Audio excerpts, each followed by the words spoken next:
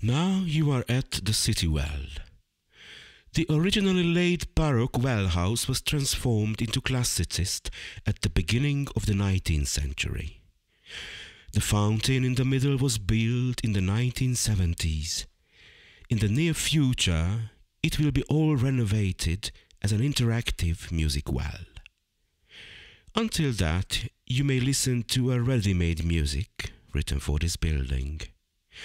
The principle of musical composition is the same as used at the arcaded house.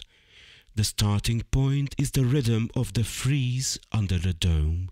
Line, line, line, dot.